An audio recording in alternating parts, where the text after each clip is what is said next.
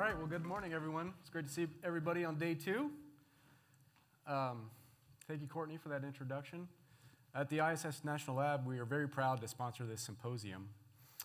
Um, in addition to supporting all the research and development and STEM, STEM initiatives uh, utilizing the ISS, one of our goals at the National Lab is to support the development of the broader LEO economy.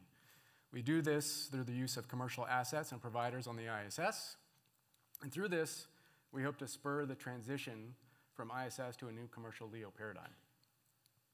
It's my pleasure today to introduce Ken Bowersox, NASA's Associate Administrator for Space Operations. He's a veteran of uh, five uh, missions, and Ken has logged over uh, 211 hours in space. Among his many responsibilities at NASA is the ISS and the transition to uh, commercial LEO destinations.